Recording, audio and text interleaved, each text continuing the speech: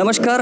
वारी म्हटलं की प्रशासन आलं आणि प्रशासन म्हटलं की सर्व नियोजन आलं. यामध्ये या वारीमध्ये सर्व लाखो वारकऱ्यांची सेवा करण्यासाठी पोलीस प्रशासन अहोरात्र झटतं. पण त्या पो पोलीस प्रशासन झटतं त्यामागील कसं नियोजन असतं आणि कसं नियोजन करावं लागतं? चार दिवसाच्या वारीचा प्रवास सातारा जिल्ह्यातून झाला. आता विठ्ठलांच्या पांडुरंगाच्या जिल्ह्यात म्हणजे सोलापूर जिल्ह्यामध्ये इथूनच एंट्री आज होणार आहे पालखीची संत ज्ञानेश्वर महाराजाची. तर आपल्यासोबत आहेत सोलापूर जिल्ह्याचे पोलीस अधीक्षक मनोज पाटील सर. मनोज पाटील सर दैनिक प्रभातमध्ये आपलं स्वागत. कसं नियोजन केलं या वर्षीच्या वारकऱ्यांचं आणि दिंडीचं?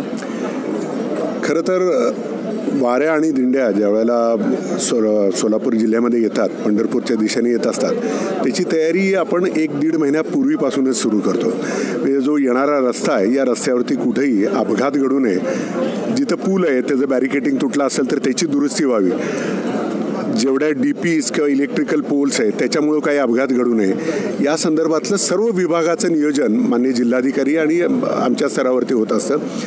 आपण येणाऱ्या भाविकांना सुरक्षितरित्या पंढरपूरपणे पोचवणं ही आमची एक मोठी जबाबदारी आहे. या सुरक्षितेमध्ये मगाशी मी सांगितलं त्याप्रमाणे इलेक्ट्रिकल किंवा इतर कुठलेही धोके होऊ नयेत.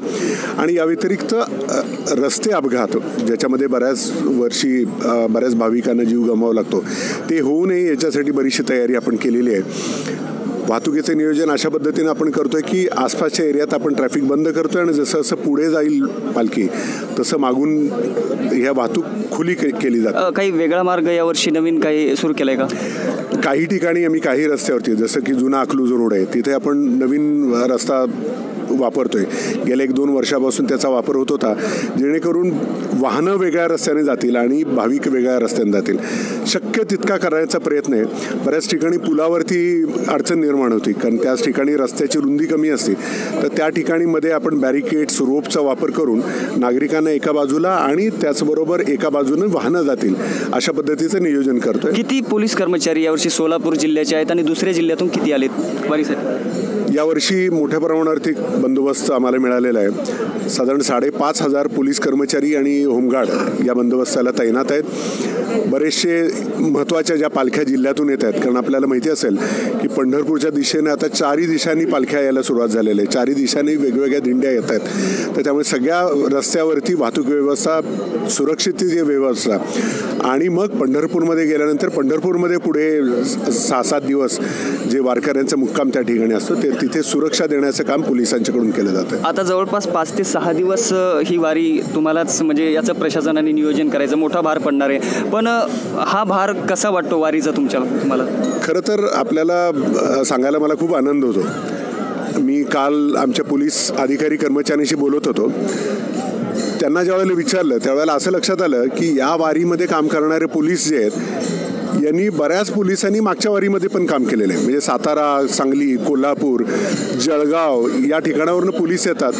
त्या पोलिसांची मागणी असते की आम्हाला पंढरपूरमध्ये जायचं आहे आम्हाला वारकऱ्यांचं बंदोबस्त करायचं आहे त्या ठिकाणी जाऊन. म्हणजे दोन्ही आहे एक तर धार्मिक कारणासाठी आणि एक चांगलं काम करण्याचं पुण्य. हे पोलिसांना बंदोबस्त करत असताना मिळत असतं हे पोलिसांच्या दृष्टीनं भाग्याचं आहे. आणि या भावनेतून पोलीस काम करतात या भावनेतून पोलिसांनी इथं बंदोबस्तासाठी आलेले आहेत. तर त्याच्यामुळे हा भार असं नाही म्हणता येणार. आनंदानं पोलीस बंदोबस्त करतायत. ही खरंच एक आनंदाची बाब आहे. काय मागणी कराल पांडुरंगांना पोलीस प्रशासनाच्या वतीने तुम्ही? पोलीस प्रशासनाच्या वतीनं विशेषतः आपण मागचा वर्ष बघितलं असं सोलापूर किंवा आसपासच्या भागामध्ये दुष्काळ हे एक महत्त्वाचं कारण होतं. अगदी कायदा सुव्यवस्था प्रश्न निर्माण होईल का इथंपर्यंत परिस्थिती होती? यावर्षी सर्वात पहिली मागणी हीच राहील की चांगला पाऊस पडो ज्याच्यामुळे सर्व ठिकाणी खुशाली हो. त्याचबरोबर गुन्हे गुन्ह्याची संख्या रस्ते अपघात या ज्या समस्या पोलिसांच्या समोर आहेत या समस्येला मात करण्यासाठी पोलिसांना बळ द्यावं.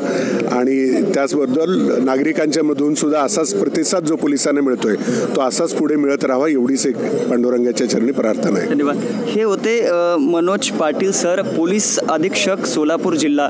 यावर्षी दुष्काळ आहे तो दुष्काळ कमी व्हावा पावसाची संख्या वाढावी पण गुन्ह्याची आणि अपघाताची संख्या कमी व्हावी हीच त्यांनी पांडुरंग चरणी यावर्षी पा प्रार्थना केलेली आहे. संदीप कापडेसह मी विष्णू सानप दैनिक प्रभात नातेपुते